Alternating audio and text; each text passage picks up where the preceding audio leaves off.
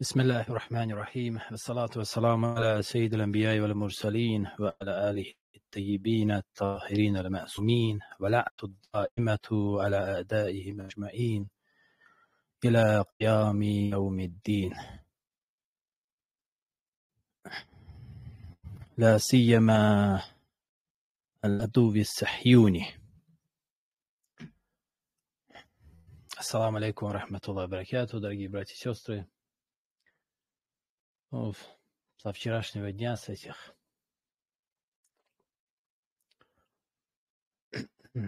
Как дошли эти новости по поводу событий в секторе Газа, если честно,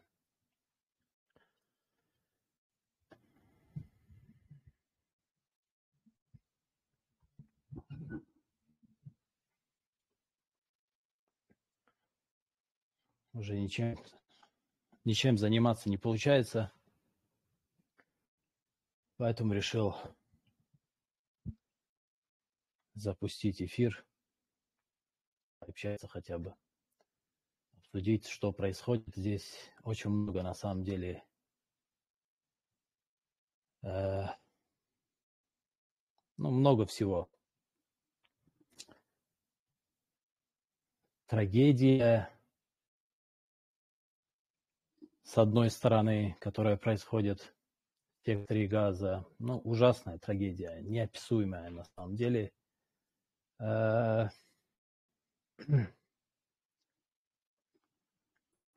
тяжело об этом говорить, если честно. А, очень тяжело. Я еле сдерживаюсь. Много эмоций у меня. Возможно, сегодня много лишнего скажу.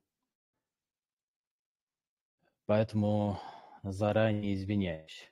Буду стараться сдерживаться.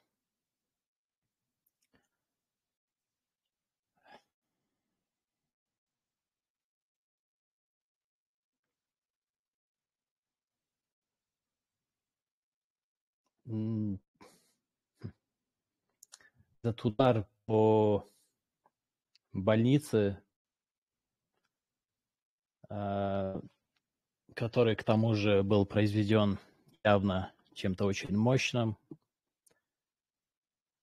Ну, то есть не сравнить это абсолютно тем ущербом, который наносят ракеты, которые могут себе позволить может себе позволить палестинское сопротивление. Это совсем другое. А, дети страдают, во-первых, да, заметим. Сейчас от этих ударов в Палестине страдают именно дети. Дети и обычное мирное население, женщины. Палестинское сопротивление именно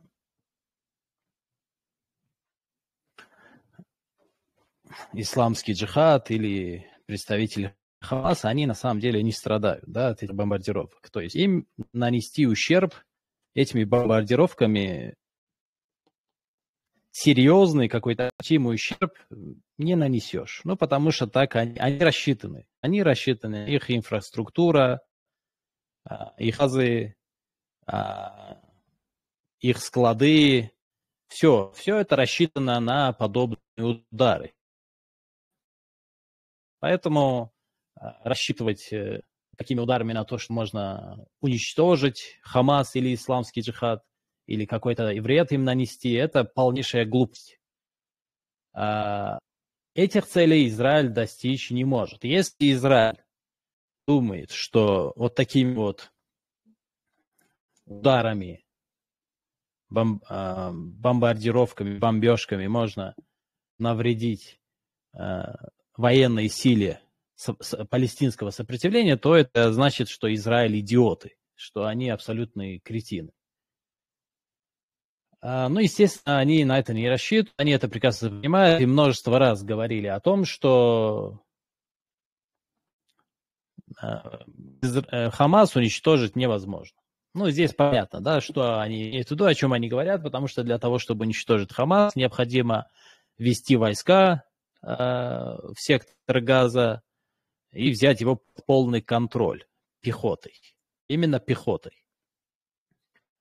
А пехотой Израиль входить не хочет, потому что это может, скажем, открыть новый фронт.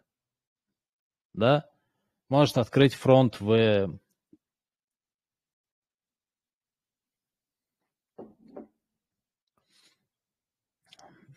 открыть фронт на севере, первую очередь, э, с Ливаном, но может перерасти в нечто большее, большую войну. Поэтому пока рассчитывает силы, пока ведет э, разведку, пока оценивает ситуацию. А, и поэтому от этих ударов страдают именно обычные люди, обычное население. Они от этих, от этих ударов страдают. А, удар по больнице – это вообще на самом деле нечто, нечто просто-напросто ужасающее. Мало что они так, так бомбили мирных, так они еще и... То есть кто находился в больнице? В основном раненые, основном это дети, женщины. В первую очередь. И это само по себе ужасно. Я, насколько я помню, около двух с половиной тысяч пострадавших. Могу ошибаться. Сколько там было данных? Сейчас, секунду, вспомним.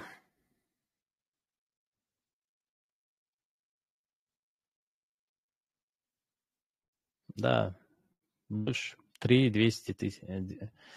3200 за все время, да, за, за эти вот последние дни. Вчера фигурировали цифры в тысяча а, шахидов во время вот этого вот удара по больнице. Потом появилась цифра полторы тысячи.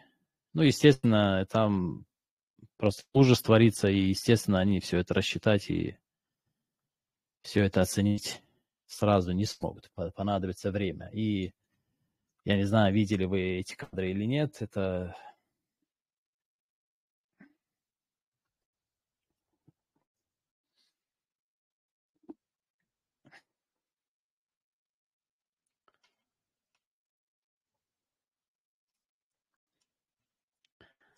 людей по пакетам собирали, если... То есть там, там тел уже не осталось. Там уже тел не осталось. Просто вот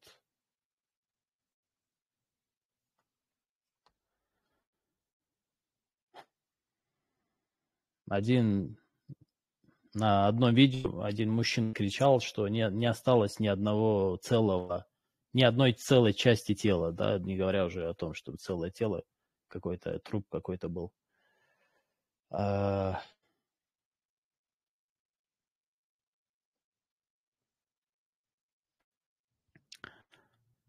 То есть это очень ужасное преступление сионистского режима. Так вот, помимо того, что умирают женщины и дети. Больнее всего, знаете, от чего? От того, что это не люди, которые вот до сих пор жили в покое, люди, которые вот, у которых все было прекрасно, скажем так, А, дети, у которых было беззаботное детство, нет, они 75 лет. Эти люди живут под страхом, живут под террором. То есть жизнь у них не такая, как у нас. У них необычная жизнь, где есть обычные условия, то есть крыша спокойная над головой, спокойное небо над головой. Нас никто на улице не остановит вдруг и не решит, что надо застрелить или ранить, или же унизить, оскорбить, задеть честь, достоинство и так далее и тому подобное. Я уже не говорю о каких-то вот материальных сторонах э, такой жизни. Жизни на самом деле целого народа, более двух миллионов человек, жизни более двух миллионов человек под а, вот такой тюрьме, да, неофициальной, непровозглашенной, вот такой вот тюрьме.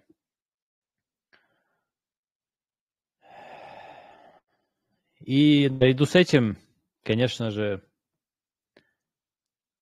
восхищает стойкость и непоколебимая воля, и вот это продолжающееся многие годы и нескончаемое сопротивление этого народа, да, то есть я иногда вижу вот в комментариях люди, а, рассуждая и обсуждая ситуацию на Ближнем Востоке, в Палестине и в частности в секторе Газа,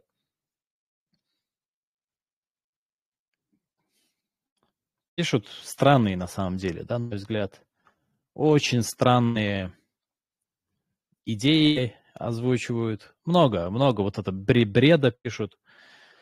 Э, но вот один из, из таких бредовых идей это то, что во всем виноват Хамас, да.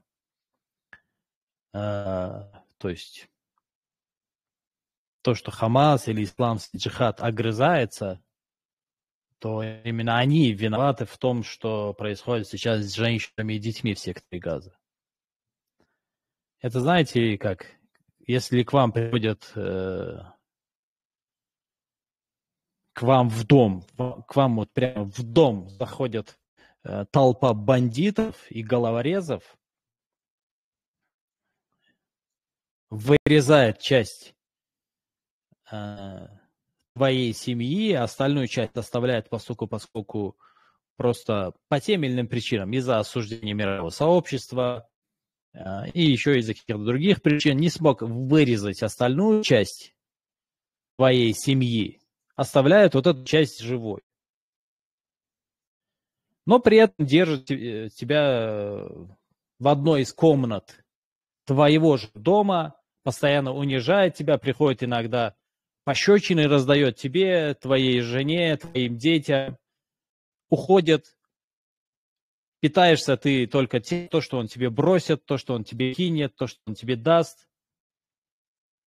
Если вдруг выходит мужчина этого дома и в ответ дает пару пощечин вот этому агрессору, этому бандиту, а, и в ответ этот бандит приходит еще больше, например, а, притесняет твою семью, да, то в этом во всем виноват ты. Во всем это виноват ты. Это больные, больные умы людей. Это, это, это больные люди. Зачем вообще так жить? Зачем жить вообще в унижении? В чем смысл такой жизни? В чем вообще наслаждение от такой жизни? Если нет сопротивления, если нет э, ответа, если нет борьбы с этим угнетением и этим притеснением, то чего стоит вообще твоя жизнь? она абсолютно ничего не стоит. Это дешевая тряпка, которую просто надо выбросить. Она уже использованная, уже вся грязная. Просто выбросить не нужно. Ничего от нее, от этой жизни не осталось. Поэтому возмущают, на самом деле, вот эти э,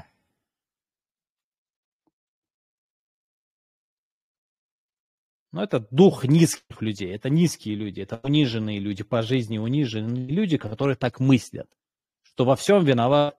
Это низкий униженный человек. Оскорбленный, обиженный жизнью человек говорит о том, что во всем виноват Хамас. Это долг. Это твой долг. Сопротивляться. И не останавливаться, несмотря ни на что. Ни, ни на какие потери, ни на какие страдания, ни на что не оглядываться и сопротивляться. Давать отпор агрессору. Это твой долг. В противном случае ты униженный, бесчестный, обесчещенный человек, как Махмуд Аббас.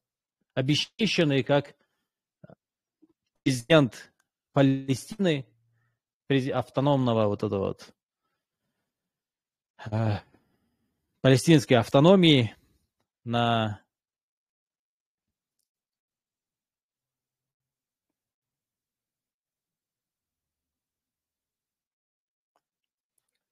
западном берегу реки Иордан, вот то, что Рамалла и так далее. Это тряпка и обесчещенный человек. Поэтому сопротивление делает детям, женщинам, мужчинам, бойцам, старикам, старым мужчинам и женщинам, всем им делает честь. И мы видим, что они достойно переносят это сопротивление. Они достойны это сопротивление переносят это сопротивление, несмотря ни на какие бомбежки, несмотря ни на какие убийства со стороны Израиля, сионистского режима, несмотря ни на какие страдания, мы видим, что народ сектора Газы, палестинцы они поддерживают сопротивление Хамаса и исламского джихада. И это делает им большую честь. Именно такими должны быть свободные люди. Люди, любящие свободу, а не вот эти вот тряпки и мрази, которые готовы терпеть любые унижения, любые оскорбления и любые притеснения. Это делает им честь и вызывает восхищение. И именно их вот это вот поведение сейчас причина той боли, которую я испытываю из-за вот вчерашнего террористического акта сионистского режима. Конечно, убийство женщин и детей – это ужасно. Но убийство таких женщин, таких детей – это намного ужаснее. И из-за этого боль возрастает в десятки раз. И ненависть к израильскому режиму возрастает в десятки раз.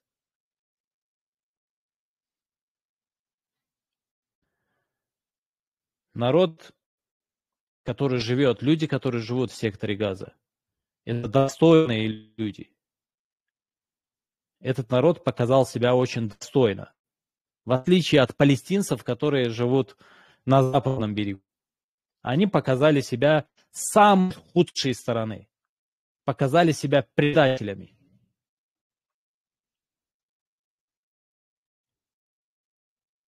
Во главе, в первую очередь, Махмуда Аббаса.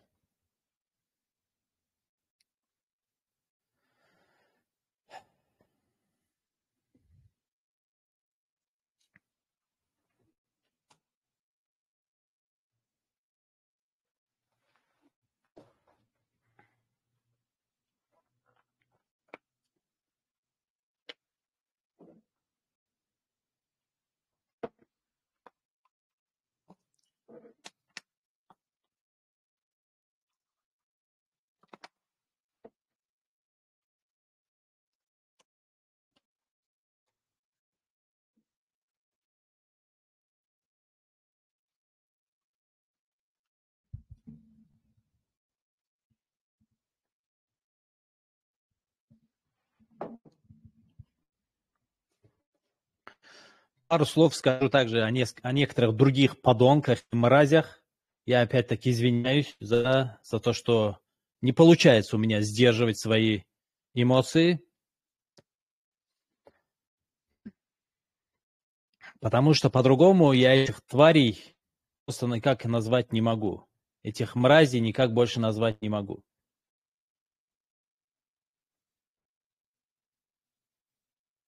Сейчас я вам покажу.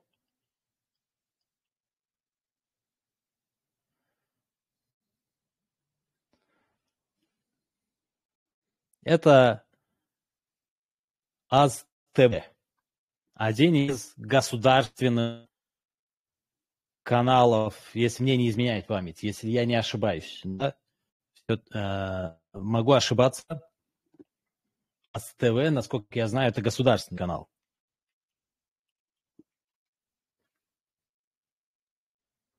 Да, да. Я просто... Да, да, это государственный канал. Просто я почему засомневался? Потому что это вот этот вот логотип, он новый. У них раньше другой логотип был. Я поэтому засомневался, это они или, может, это другой какой-то канал с таким же названием. А сейчас я проверил, у них теперь новый логотип. Раньше был другой логотип, вот теперь это их новый логотип, поэтому я засомневался. Что эти мрази пишут? Просто натуральные мрази. Распространяют фейк, который сионистский режим под страхом, под страхом гнева мирового сообщества и в первую очередь мусульманского мира начал распространять в первые часы после бомбардировки, э, э, ну, спустя примерно через час, через два после бомбардировок э, больницы. Потом это все было опровергнуто, оказалось, они распространили видео, якобы это неудачно запущенная ракета, а, запущенная исламом джихадом, ходила в, в эту больницу. Потом выяснил, что это видео, которые вот эти где-то убийцы и вот эти вот сионистские оккупанты опубликовали это видео 2022 года, которое было снято в Сирии. Это старое видео, это видео хранится в интернете. Интернет ничего не забывает. Это видео хранится и опубликовано в 2022 году в Сирии. Это видео было снято. Потом это, это все они уже за, начали замалчивать и удалять эти свои посты. Но вот что АСТВ, вот это вот сионистское телевидение сионистской республики Азербайджан, да, потому что там одно название уже мусульманское, там ничего не осталось в этой власти мусульманского. Все продалось уже сионистам. И это вот есть самое, что есть доказательства. Они транслируют вот эти вот заявления сионистских оккупантов о том, что ракета на самом деле была выпущена якобы исламским джихадом и был неудачный э, запуск, вследствие чего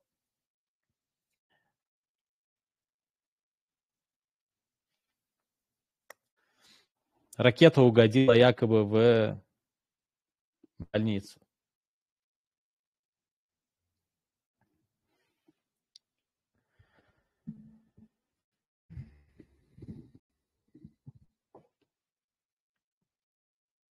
Ну, я даже не знаю, как, как можно прокомментировать вообще в принципе вот это вот поведение азербайджанских СМИ, государственных в первую очередь СМИ.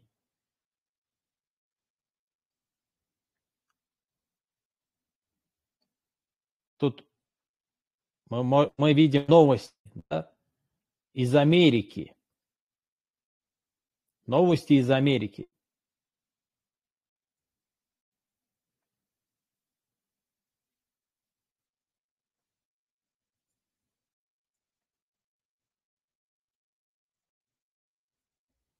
Вот.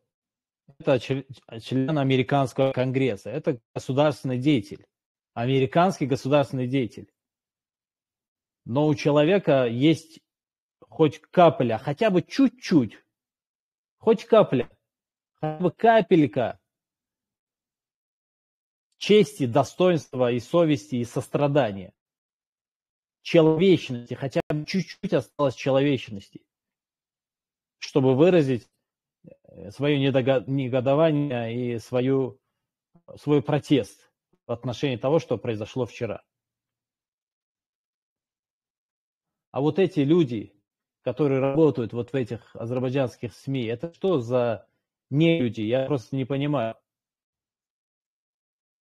Что там в Азербайджане с людьми такое произошло? Вы что, с ума подходили после э, вот этих последних войн и вот этих вот позерств пижонских, абсолютно неумелых и по-клоунски выглядящих позерств Илхама Алиева? Скажите кто-нибудь этому Ильхам Алиеву, что это абсолютно не выглядит как-то брутально. Вот эти его позерства перед на камеру, они не выглядят брутально, он смешно выглядит. Вот эти махания кулаками, это смешно. И он выглядит как клоун, а не какой-то волевой и брутальный лидер.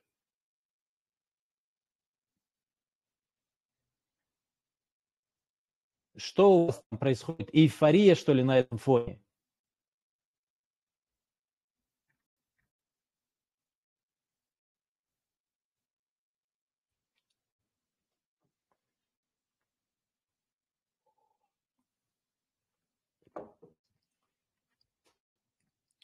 Сожалению, эта республика катится в пропасть. Очень уверенно идет к пропасти.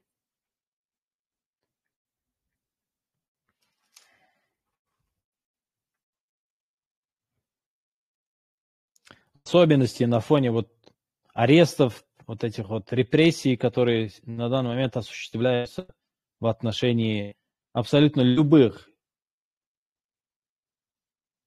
людей, которые хоть какое-то, хоть какую-то, даже хоть маломальски небольшую деятельность какую-то религиозную, шиитскую, конечно, в первую очередь, в основном. Не то, что в основном шиизм, просто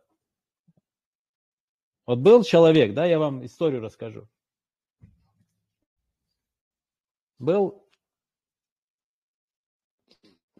один человек, звали его Мухаммади. Он, может, и жив до сих пор, я не знаю.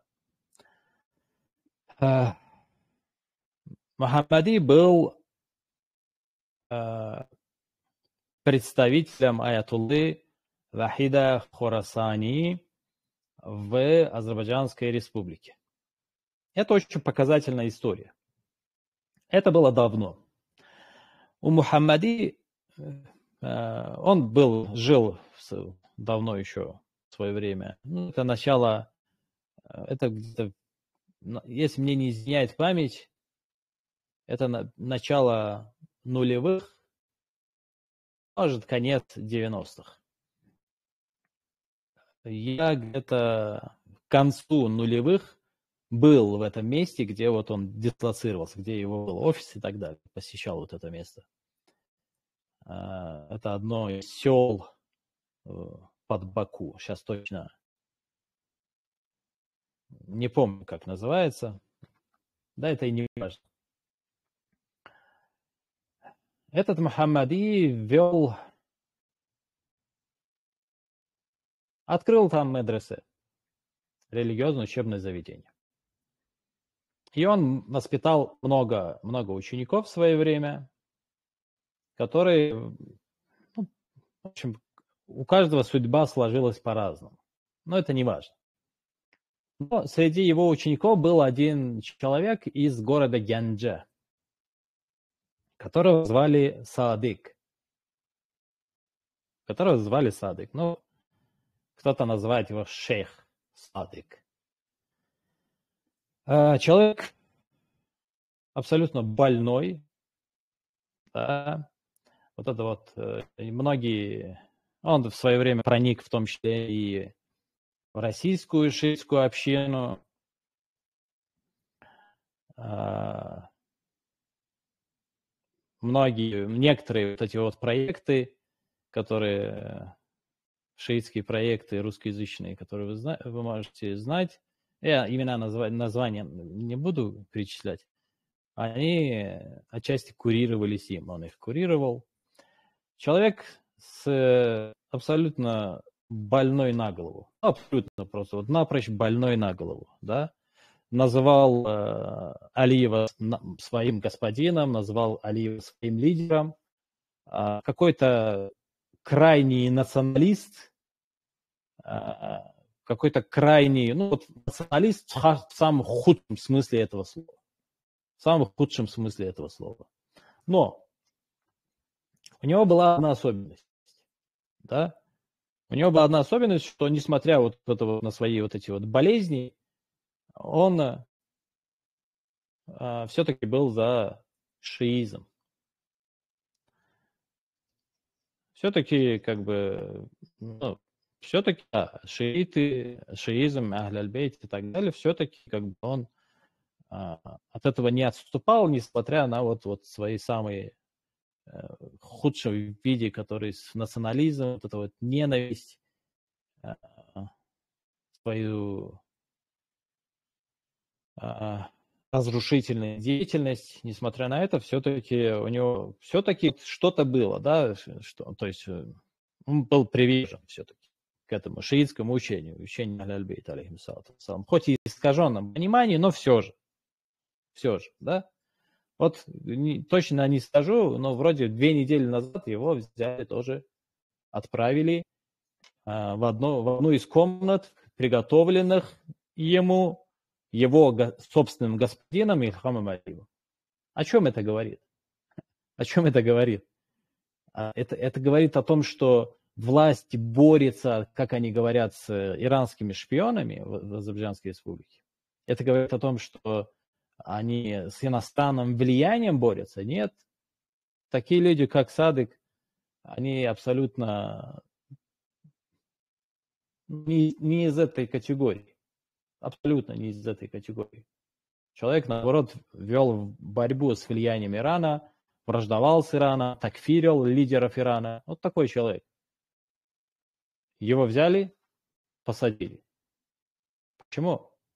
Потому что хотят искоренить именно шиизм. И любой человек, который хоть как-то поддерживает жизнь, шиитскую жизнь в Азербайджанской республике, он должен быть изолирован. Вот что я из этого понимаю. Вот что я из этой истории понимаю.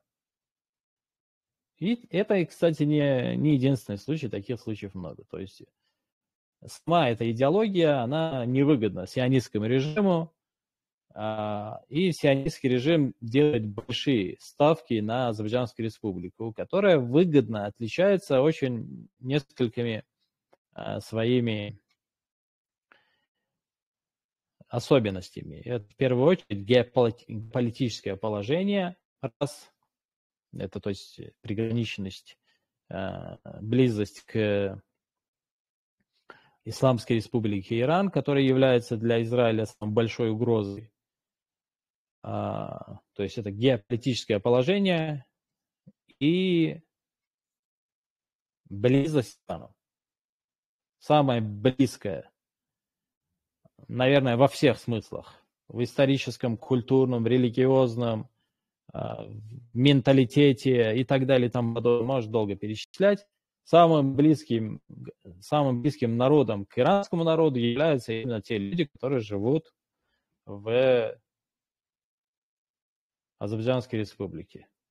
Что дает очень большие, кстати, бонусы для израильского а, сионистского режима если, то есть, э, в случае а, влияния на вот эту вот страну, на Азербайджанскую республику.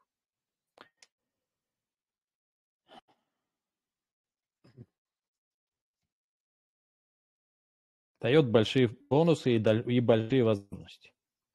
Потому что если, допустим, в Иран приезжает э, человек из Германии, из Соединенных Штатов, из Британии, да даже из России или еще откуда-то, то иранские власти относятся к этому с большей осторожностью, если, нежели если приезжает человек из Азербайджана, из братского Азербайджана, да, как бы, который является братом. По поводу, допустим, того, что а, народ, живущий в Азербайджанской республике, очень близок с Ираном. Вот я как-то с одним из бакинцев сидел. Я с ним давно был знаком, с этим бакинцем. Это мой близкий был знакомый, товарищ. Но как-то мы с ним сидели у него в гостях, он вдруг э, ему кто-то позвонил из дома, кто-то, я точно не помню, то ли бабушка, то ли еще кто-то. И он начал разговаривать э, со своей семьей на каком-то непонятном, то есть, ну, мне понятном, да, но для вас он был бы непонятен. Тот язык, на котором он говорил, а, этот язык был непонятен. Я его понимал, потому что я понимаю персидский. Он говорил на чистейшем персидском языке, бакинец. Со своей бабушкой Бакинкой, которая вообще из своего квартала, наверное, никуда никогда не выходила. Начал разговаривать на персидском языке. Когда они поговорили, я сказал, э, откуда твоя бабушка знает персидский язык. Он сказал, это не персидский язык. А, хотя это был персидский язык, потому что я персидский язык знаю. А, он сказал, это не персидский язык, это наш, типа, местный это вот наша, чисто наш язык нашей местности. Он был из Сурахана, если мне не изменяет память, вроде так называется эта местность. Сказал, что вот у нас, скажем, все так разговаривают, в особенности вот старшее поколение, вот это их язык.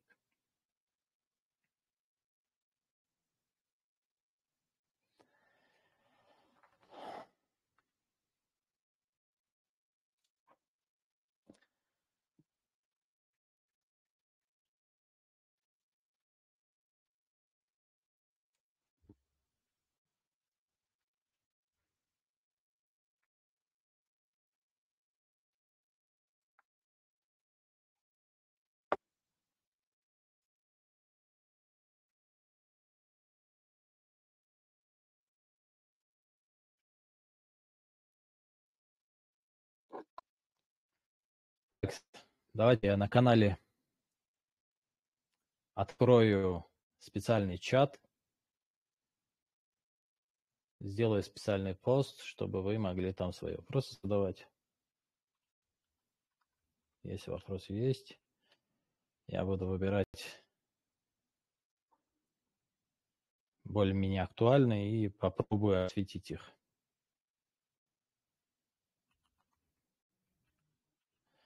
Вот я запустил э, пост в комментариях для него, то есть пост. В комментариях для него можете писать вопросы свои. Вдруг, если что-то интересует. Пока посмотрим. Ну, немножко пришел я в себя, вот поговорив немножко, на самом деле, пришел я в себя. Со вчерашнего дня, не знаю, плохо мне стало, я, меня тошнить начало, голова начала кружиться. Какое-то странное состояние, непонятное мне. Э, от чего это возникло, не понял. Может, переживание так повлияло, я не знаю.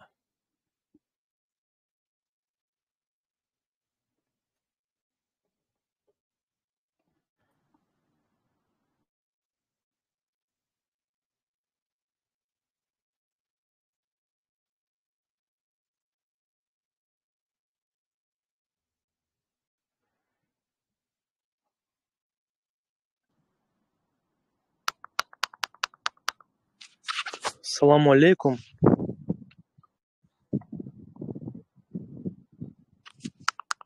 Почему-то не слышно. Ну, надеюсь, меня слышно. Шейх Курбан, салам алейкум еще раз. Всем салам алейкум. Ответь, пожалуйста, на вопрос. Э, мне очень интересно, э, почему на сегодняшний день, уже столько дней прошло, вот э, наш шиитский Иран по сей день не помогает точнее помогает, но уже не действует, уже конкретно военным путем.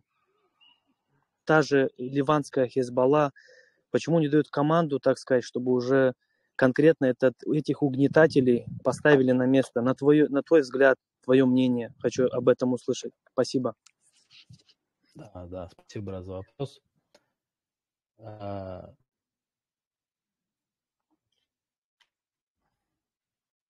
Спасибо.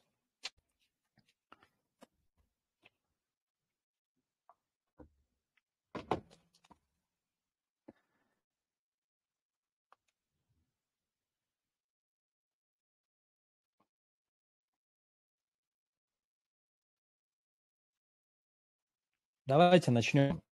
Давайте начну с того, что э, ну, я, допустим, очень, очень сильно возмущен. Да, точно так же, как и, и вы, я очень сильно возмущен, очень сильно недоволен тем, что происходит, и меня это все очень сильно злит и э, возмущает.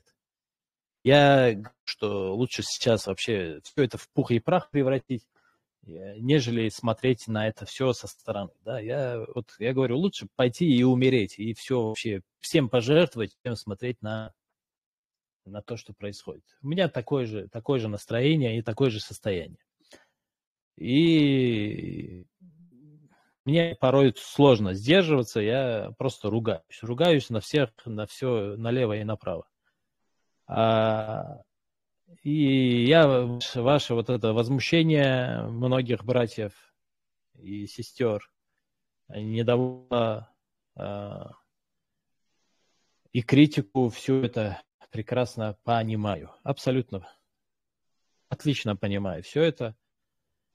Но а, давайте, давайте,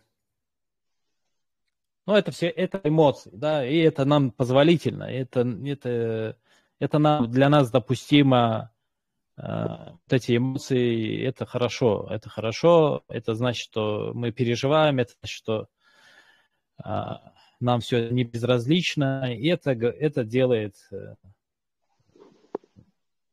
скажем так, э, нам честь, да, что мы всем этим возмущены и недовольны. Так, что за голос? Я слышу, у кого-то микрофон включен. А кто включает микрофоны? Отключайте. Не надо включать микрофоны, пожалуйста.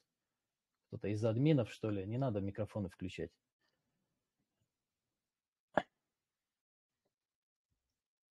Но давайте, я, я сам это тоже прекрасно понимаю, что эмоции это одно, мы с вами можем себе позволить эти эмоции и кричать налево и направо. Но люди, которые принимают ответственные решения, у них чуть-чуть другая задача, у них другая ответственность, отличная от нашей ответ, ответственности. Это необходимо понимать. Если и, и каждый человек, который когда-либо брал на себя ответственность за что-либо, Каждый человек, который несет ответственность за какие-то действия, он прекрасно осознает, ну, может быть, в других масштабах, да, но осознает, что а, человек э, в таких случаях не должен руководствоваться эмоцией, он должен а, а, отталкиваться, он должен отталкиваться от э, данных, от, э, от информации разведывательной, он должен оценить ситуацию с холодным умом, с холодной головой, должен понимать, к чему, какие действия могут привести, к какому ответу, к какому результату. Это, это, это наша эмоция. У меня та же самая эмоция. Да? Я тоже самую эмоцию переживаю. Возможно, со временем отойду, и что вот это вот свежее все, а, что гори все синим пламенем. Да? У меня вот такая эмоция. Но человек ответственный и принимающий решения, важные решения, решения, которые могут повлиять не только на судьбу какого-то отдельной, какой-то отдельной страны, могут повлиять на судьбу целого региона, даже всего мира, он должен ответственно ко всему этому подойти и с расчетом, с расчетом, не с эмоцией, как мы с вами. Мы с вами можем себе позволить проявлять эмоции. Они должны подходить с расчетом.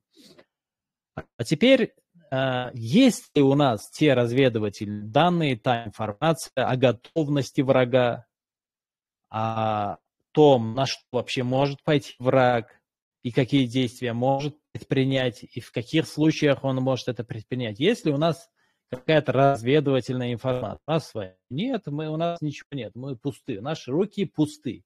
Мы никакой информацией не владеем, мы не знаем. Мы просто на эмоциях кричим, что нужно действовать, нужно идти вперед. А информация есть только у ответственных людей, людей, которые занимаются добычей и э, получением этой информации. Они, этой, а, они, отталкиваясь от этой информации, должны предпринимать те или иные решения, а не от эмоций, а не от злости, Понимаете, это совершенно, это совершенно другая модель поведения. Что касается э, Исламской Республики, Иран, что касается Хизбаллы, то Хизбалла в принципе это движение, которое возникло с одной лишь единственной целью. Хизбалла. Цель Хизбаллы – это сопротивление сионистскому режиму. Для этого Хизбалла возникла. Изначально, изначально цель Хизбаллы была в этом. Поэтому с момента своего возникновения Хизбалла только и делает, что э, борется и сопротивляется сионистскому режиму. Тем методом, тем способами, той тактикой, которая соответствует. Сейчас времена другие, технологии другие. Сейчас просто взять меч, сесть на лошадь и куда-то поскакать не получится. Это не те времена. И даже сесть на танк или на самолет, на истребитель, или куда-то полететь, что-то завоевывать, кого-то побеждать, тоже не получится. Сейчас совершенно другое время. И на мой дилетантский взгляд, а, исламское сопротивление, то есть Иран, а, в первую очередь, и Хизбалла, в том числе и исламский джихад, это силы, которые очень хорошо, на мой взгляд, очень удачно и успешно, а, скажем,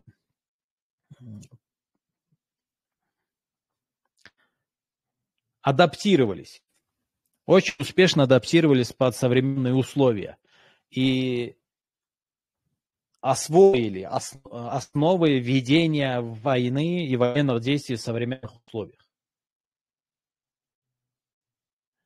И мы видим, что они в основном ведут маленькие войны. То есть у них нет большой войны. Да, как, допустим, сейчас на Украине происходит, это большая война. А та стратегия и, и тактика, которая избрана э, Хизбаллой и Ираном, до сих пор мы видели маленькую войну. То есть это какие-то превентивные удары. Да, какая-то ну, с, с, своеобразная, скажем, э, своеобразная борьба, ос, особенная, отличная от того, что мы можем наблюдать в большой войне. Э, опять-таки, это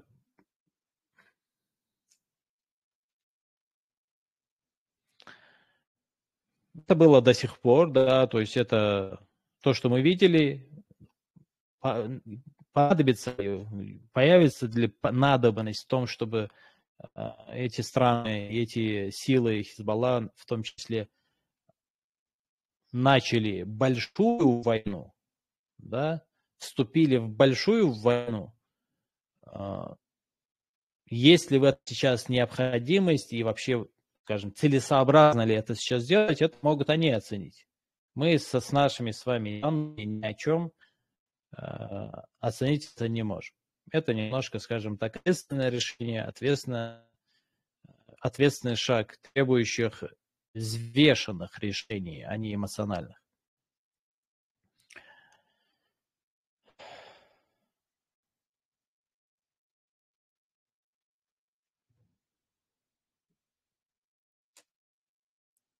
А так, конечно же, как вы сами сказали, Иран и Хизбалла очень активно участвуют в этом. Еще есть у нас проблема очень актуальная, очень важная, очень значимая. Это то, что весь остальной мусульманский мир вообще наплевать хотел на то, что вообще происходит в Палестине. Да, если говорить откровенно. Они так для виду, для галочки э, время от времени возмущаются, но лучше бы вообще ничего не говорили, ничего не делали чем вот эти вот бесполезные телодвижения. И это тоже, конечно же, создает большие препятствия, отсутствие единства, отсутствие сплоченности. И вообще, как бы все абсолютно, да, вот эта вот большая проблема палестинская – Э, палестинского вопроса очень большая и огромная проблема. Это то, что абсолютно все, за исключением исламского сопротивления, кого я имею в виду под исламским сопротивлением, это Иран, Это Хизбалла, это Сирия, это Йемен, хуситы, это э, Ирак, это палестинское сопротивление в лице Хамаса и исламского джихада. Фатх мы вообще отбрасываем в сторону. Кроме этих сил, все смирились с существованием Израиля. Все смирились. Они говорят, все, Махмуда, сами палестинцы смирились. Вот этот западный берег Иордана, Рамалла, Махмуд Аббас, Фатх, вот эти вот силы, они смирились с существованием сионистского режима, оккупантского, узурпировавшего чужие земли, отнявшего чужие дома. Миллионы людей находятся в лагерях беженцев на протяжении десятков лет. Милли, поинтересуйтесь, поищите в интернете. Миллионы лет находятся в лагерях беженцев, живут в ужаснейших условиях. Слава богу, в интернете полно фильмов документальных о том, как живут беженцы в Ливане, как живут беженцы в Сирии. Палестинские беженцы. Беженцы, которые вынуждены были из-за вот этого оккупантского израильского режима, вынуждены были покинуть свои земли. Полно этих документальных фильмов. Все эти Иордания, Египет, Махмуд Аббас, Фа, вот, вот западный берег, Саудовская Аравия, Объединенные Арабские Эмираты, Кувейт, Катар, вообще Турция, вообще весь мусульманский мир, весь, без исключения, без исключения, ну, кроме того исключения, которое я сказал, исламское сопротивление. Все они смирились с существованием изра- израильского режима. Махмуд Аббас что говорит? Тут вот позиция Махмуда Аббаса. Пусть будет Израиль, но пусть рядом э, с Израилем будет еще и Палестина.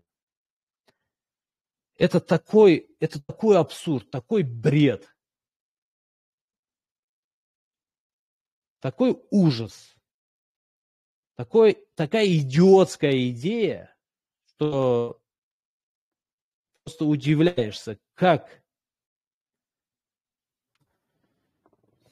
Почему это идиотская идея? Почему это идиотизм? Предлагает два государства. Государство Израиля, государство и палестинское государство. Почему это, это полный идиотизм? Потому что Израиль был создан на Ближнем Востоке не для того, чтобы быть там, на Ближнем Востоке, рядовым игроком. Израиль создан для того, чтобы быть гегемоном в регионе. И он эту цель будет преследовать шаг за шагом, постепенно, ни на что не оглядываясь будет добиваться все новых и новых земель, будет захватывать все новые поселения, заселять, застраивать и репатриировать так называемых евреев. Хотя он уже давно не евреи. Они уже давно не евреи. Там поляки, русские, казахи, азербайджанцы, кто угодно там есть. Но почему-то они считают себя евреем. Неважно, пускай считают.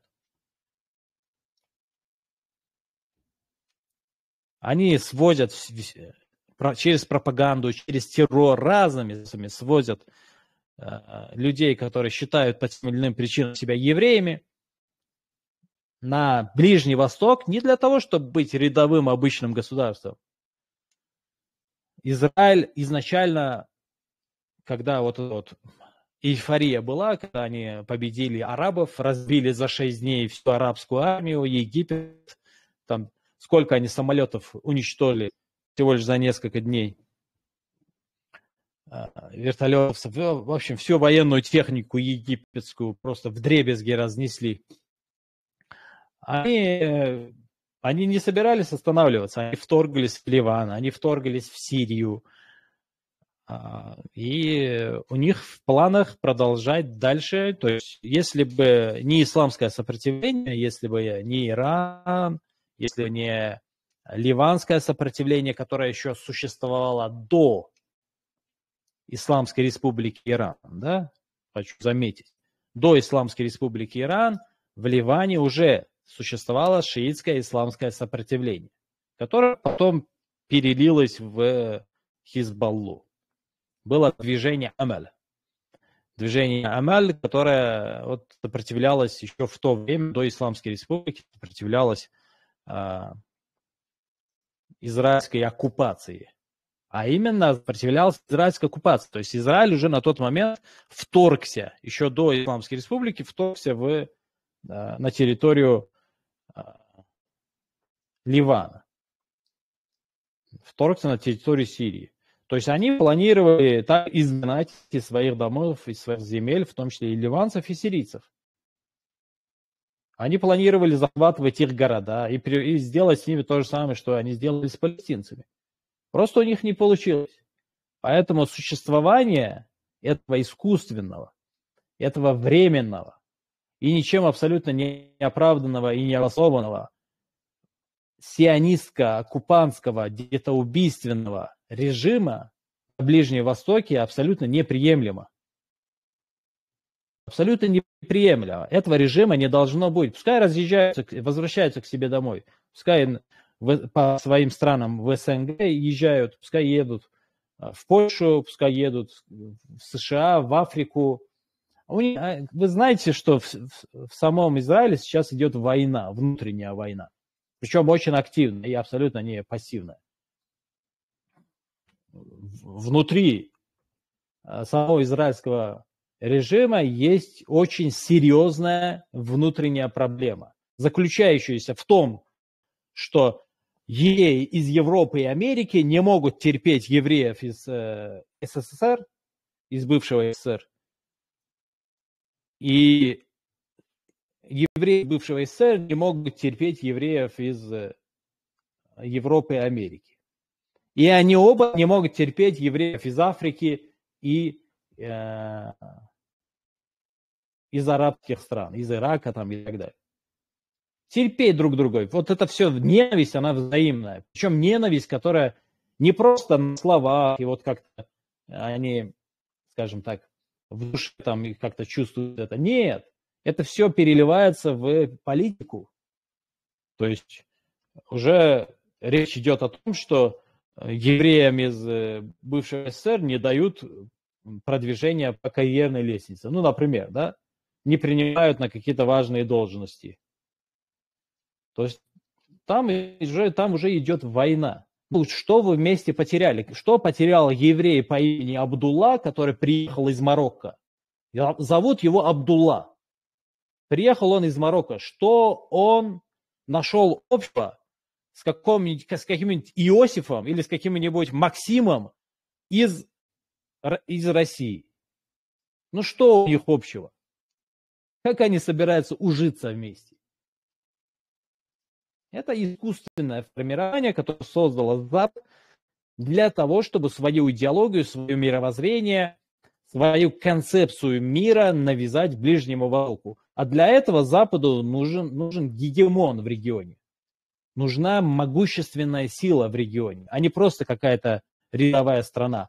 А эта могущественная сила в регионе может возникнуть только вот такими методами. Убийствами, геноцидом, детоубийством, а, истреблением местного населения, изгнанием местного населения, созданием вот таких э, э, лагерей для беженцев, в которых десятками лет живут. Ну как можно жить десятки лет в лагерях для беженцев? Поэтому здесь вот две позиции. Здесь две очень важные позиции.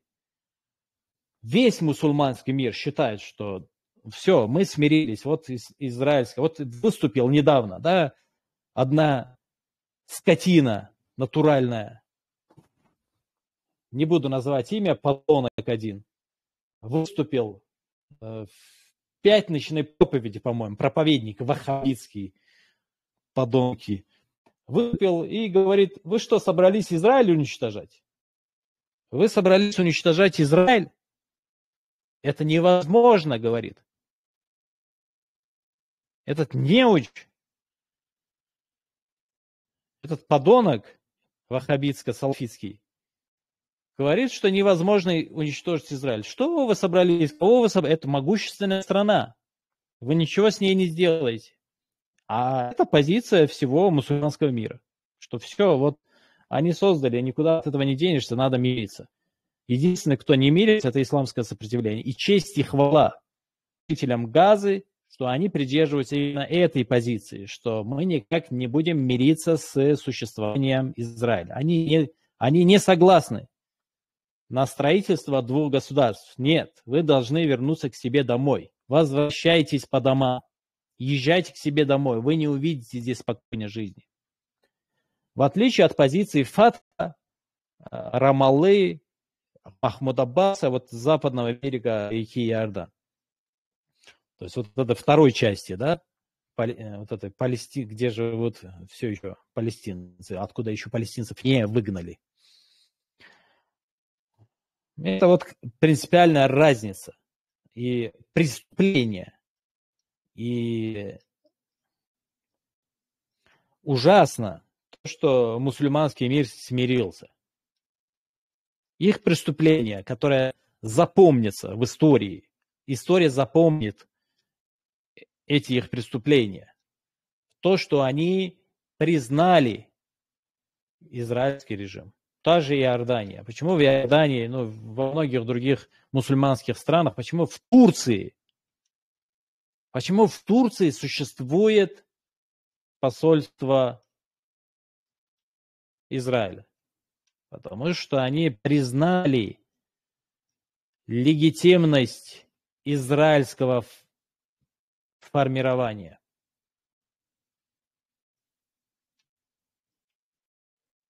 А Иран нет, Иран ни, ни при каких условиях не согласен признавать. Как международную фигуру, международную политическую фигуру и международного политического игрока. Не согласен признавать.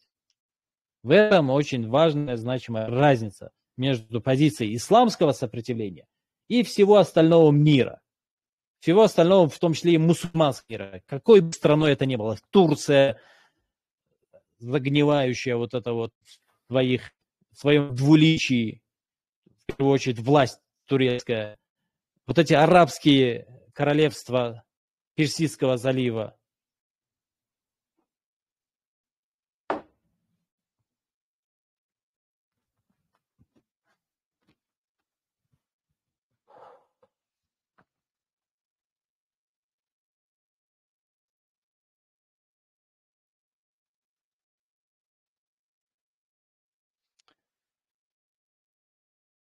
Так, сколько вопросов?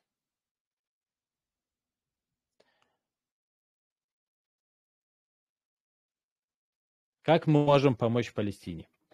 Это хороший, алейкум ассаламу рахматуллах баракату. Это хороший, важный, значимый вопрос. Как мы можем в данном случае помочь Палестине? Конечно же, абсурдно, да, вот некоторые братья, я вижу, пишут, что как можно туда поехать, как можно записаться, а, на мой взгляд, да, опять-таки, на мой дилетантский взгляд, забудьте про все это. Забудьте о том, чтобы поехать туда, забудьте о том, чтобы какое-то вот активное военное участие в этом а, принимать. Сейчас, по крайней мере, это абсолютно не актуально и вряд ли будет актуально в будущем. Но ну, то, что на самом деле вот по-настоящему, не просто да, вот какие-то мечты розовые, а по-настоящему можем помочь палестинцам, это а, проливать свет на этот вопрос, прояснять этот вопрос в, веру, в меру своих возможностей, сколько мы можем. Всеми своими силами, всеми своими возможностями проливать свет на этот вопрос. Слава богу, социальные сети и вот эти вот интернеты, они предоставляют большую возможность, и у кого-то возможности больше в этом смысле, у кого-то меньше возможностей. Но то, что мы можем по-настоящему сделать для палестинцев, это вот заключается в, в том, чтобы вести вот эту вот э, войну информационную, войну, участвовать в этой информационной войне с э,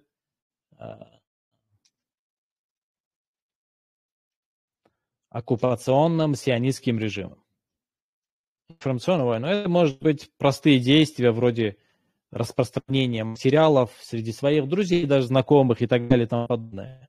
Я думаю, идеи вы поняли, уже как бы можете развивать и какие-то детали а, и какую, какие-то инструкции к этому вы сами как-то можете добавить, и это все, скажем, больше детализировать. Идея, я думаю, понятна.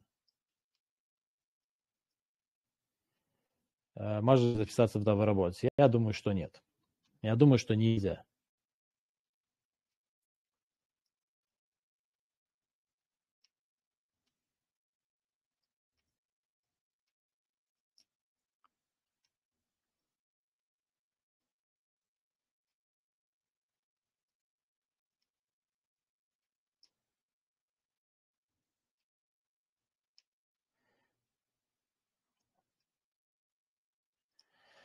Удастся, удастся ли избежать большой войны на Ближнем Востоке? Ну, хотелось бы на самом деле на это надеяться, потому что ничего хорошего в большой войне нет. То есть война уже идет. Война идет с момента возникновения сионистского режима, и даже более того, оно, эта война началась до возникновения и образования сионистского режима.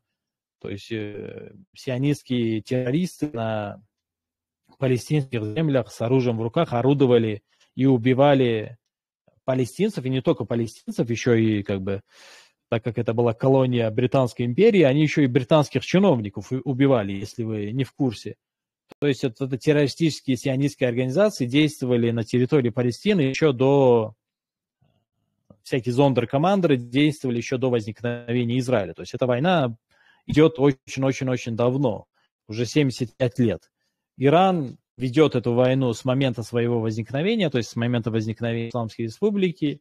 Хизбалла тоже эту войну ведет, и вообще Хизбалла возникла как э, движение сопротивлению, движение сопротивления э, Израилю и сионистскому режиму. Поэтому война идет. Война идет, она никогда не прекращалась ни на день эта война не прекращалась. Каждый день стороны наносили удары друг другу. Это террор, а, то есть это ликвидация тех или иных э, членов, это ну и так далее, и там подобное, много чего. Война идет, но именно вот большая война, конечно, может начаться, вполне возможно. Хотелось бы надеяться, что Израиль исчезнет без этой большой войны, что Просто эти люди уедут и все. Хотелось бы на это надеяться, что эти люди, которые приехали с разных уголков света, вот я вот э, смотрю, да, новости читаю о российских гражданах, которые уехали в Израиль, ну, естественно, которые считают себя евреями, и удивляюсь, как много лидеров мнения как много властных людей все-таки в России из числа тех, кто считает себя евреем. Тех, кто считает себя семитом. Тот же Чубайс, например. Это не маленькая фигура, это не маленький человек. И сколько еще людей, которые вот у власти в России, но которым, которым еще не пришло время уехать в как они говорят, на свою родину, уехали на родину. Сколько людей? Это так, заметка. То есть хотелось бы надеяться, что все-таки Израиля не станет вследствие того, что все этим людям просто надоест жить. И на самом деле их туда завлекают с обманом, да. И сейчас, если вы немножко погуглите, поищете, промониторите социальные сети, то вы можете обнаружить, что а, люди возмущаются. Вот эти вот оккупанты, которые приехали из разных концов света на палестинскую землю, а, возмущаются, говорят, а мы сюда приехали за хорошей жизнью, вы нам обещали безопасность, вы нам обещали гарантию безопасности, вы нам обещали покой, уют. А где этот уют? Возмущаются, они очень сильно возмущены. И есть большая вероятность, и я думаю, что сопротивление в первую очередь на это и рассчитывает, рассчитывает на то, что эти люди все-таки, поняв, что покоя им там не будет, они просто-напросто покинут эту землю. Хотя тенденция, конечно же, на данный момент не такая радужная, не такая строительная, очень медленная тенденция вот к этому, да. Но для этого нужны такие операции, как шторм Алякс, да, туфан Алякса. То есть э, постоянные вылазки, постоянные вот эти вот операции для того, чтобы эти люди поняли, что покоя им на этих землях не будет, и все-таки покинули свои земли. А, это, конечно же, самый-самый-самый радужный, самый приемлемый, самый тот сценарий, который, скажем так, является самым мирным, самым таким лучшим.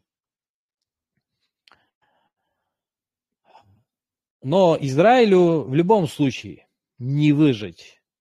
То есть та вот э, та стадия, где э, та стадия, перейдя которую Израиль мог бы выжить на Ближнем Востоке, она не пройдена Израиль.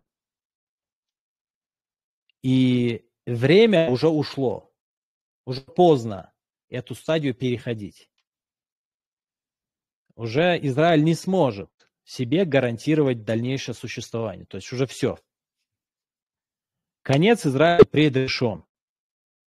Израиль не будет существовать, Израиля не будет на Ближнем Востоке, это однозначно. В этом не может быть абсолютно никаких сомнений. Это решенный вопрос, потому что то, что могло гарантировать э, существование Израилю, э, Израиль не, себе не обеспечил и уже обеспечить не может. Уже не может, потому что время действовать прошло для Израиля время действовать прошло. Уже все поздно, поздно. Сопротивление достигло такой силы, сопротивление этой оккупации достигло такого могущества, такой силы, что уже э, не позволит Израилю э, гарантировать себе свою собственную безопасность, обеспечить себе свою собственную безопасность. И с каждым днем Израиль будет становиться слабее и слабее, и в конце концов, или же вот таким путем, который я сказал, или же через большую войну. Вероятность большой войны, она, конечно же, такая 50 на 50, я бы сказал. На мой взгляд, 50 на 50. Да, с одной стороны, есть много факторов, которые очень сильно, скажем, ведут к этой большой войне, к, этой большой войне, но есть множество других факторов, которые сдерживают эту большую войну в виде тех же, допустим, американских сил. А, ну, здесь много факторов. Это лояльность а, вот этого региона, да, ближневосточного региона к Израилю. И лояльность не народов, не людей, потому что народ абсолютно не лояльный. Народ очень враждебно и агрессивно настроен по отношению к сионистскому режиму, но сами власти региональные власти, это Иордания, это Египет, это Саудовская Аравия, это вот, ну, все вот эти остальные страны, они настроены так, что, ну, вот они кричат, давайте нам палестинское государство, да, стройте палестинское государство, дайте нам построить палестинское государство. Но они не против Израиля, они не хотят, они смирились с Израилем, а может и не мирились вовсе. И, может, вообще по душе, они вообще, может, мечтают, да, на самом деле, у меня смутные подозрения, что очень уж сильно Саудовская Аравия хочет, чтобы Израиль остался на Ближнем Востоке. Очень сильно хочет. Я понимаю переживания Саудовской Аравии, потому что если Израиль не станет на Ближнем Востоке, то это значит, что на Ближнем Востоке останется только одна сила второй силы на Ближнем Востоке просто-напросто не останется. Будет только одна. Одно могущество, одна сила. Это ось э, сопротивления. Это шиитская ось сопротивления. Ну, она не совсем шиитская, да, на самом деле, но назовем это шиитской, поскольку, поскольку основную силу в этой оси э, составляют в себя именно шииты. Хотя она не шиитская, она исламская, потому что эти шиитские силы, которые входят в эту ось, они не, скажем, не фанатичны к этим течениям ислама. Да, шиизм они не делят особо на эти течения. и идентифицируют себя как мусульмане в первую очередь.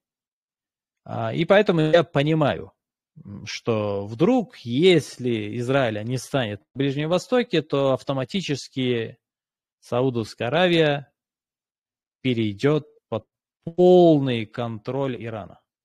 Станет просто марионеткой Ирана. Ну, другого выхода не будет, просто другого варианта не останется.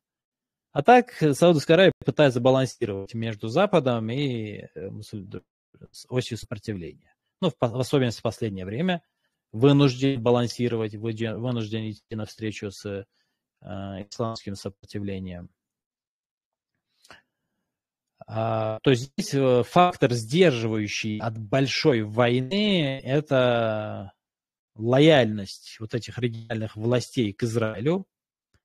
Если начнется большая война, то эти силы приложат большое, большую, большое, скажем так, усилие Могут, могут. Опять-таки, все зависит от э, тех данных, которыми владеют, да, э, разведывательных данных, каких-то других данных вообще о настроениях среди элит этих государств, Египта, Иордании, Саудовской Аравии и так далее. А, то есть это сдерживающий фактор от большой войны. Их вот это вот отношение с Израилем, отношение к существованию Израиля и отношение к э, войне с Израилем.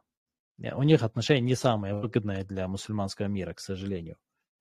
Это один фактор. И другой фактор, это, конечно, поддержка Запада. Если начнется большая война, вы должны понимать, что израильский режим, он должен надать и стать балластом для Запада.